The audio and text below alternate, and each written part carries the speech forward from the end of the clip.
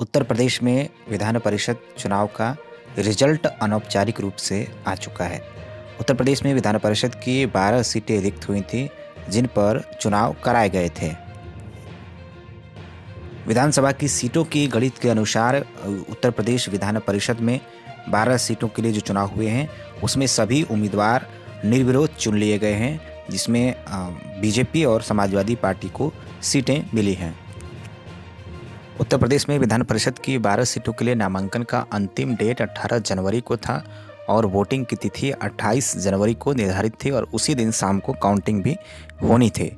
लेकिन आ, मैं आपको यहाँ पे बता दूँ कि काउंटिंग की नौबत नहीं आई। उसके पीछे कारण ये है कि सभी बारह प्रत्याशी जो है कि निर्विरोध चुन लिए गए हैं। तो बता दें आपको इन बारह सीटों में कौन सी पार्टी के खाते में कितनी सीटें गई हैं? तो यहाँ पे देखिए, भारतीय जनता पार्टी यानी बीजेपी के खाते में सबसे ज़्यादा सीटें गई हैं। बीजेपी को 10 सीटें मिली हैं। वहीं हम समाजवादी पार्टी की बात करें तो समाजवादी पार्टी के खाते में दो सीटें गई हैं। बाकी जो पार्टियाँ हैं, बीएसपी और कांग्रेस पार्टी, इनके पास विधायक ही बहुत कम है, इसलिए इनको कोई सीट नहीं मिली। तो उत्तर प्रदेश विधान परिषद में टोटल विधान परिषद की 100 सीटें हैं और वर्तमान की जो स्थिति हो रही है, यानी 12 सीटों के चुनाव के रिज़ल्ट आने के बाद जो स्थिति बनेगी, वो इस तरीके से होगी। इसमें देखिए, समाजवादी पार्टी सबसे ज़्यादा सीट पर रहेगी, यानी समाजवादी पार्टी को इक्यावन सीटें रहेंगी वर्तमान में, सौ सीटों में। पहले सपा के पास पचपन सीटें थी।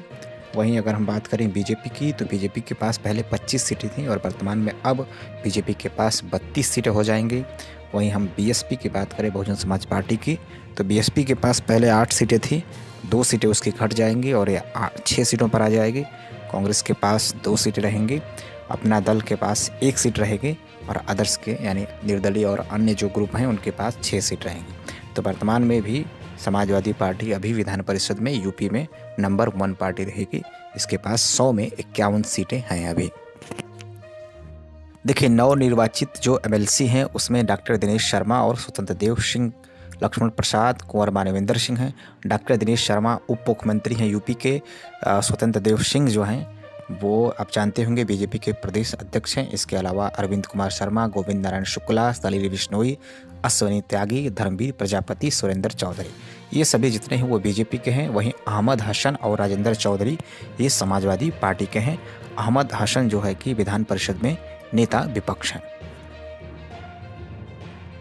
तो ये था उत्तर प्रदेश विधान परिषद चुनाव के नतीजों का रिज़ल्ट। जल्द ही हम नेक्स्ट वीडियो लेकर आने वाले हैं। यदि आप चैनल पर नए हैं तो चैनल को सब्सक्राइब करें, वीडियो को लाइक करें, आपके कोई मन में विचार है तो उसको कमेंट करें। साथ ही साथ अपने दोस्तों में ज़्यादा से ज़्यादा शेयर करें। थैंक यू धन्यवाद।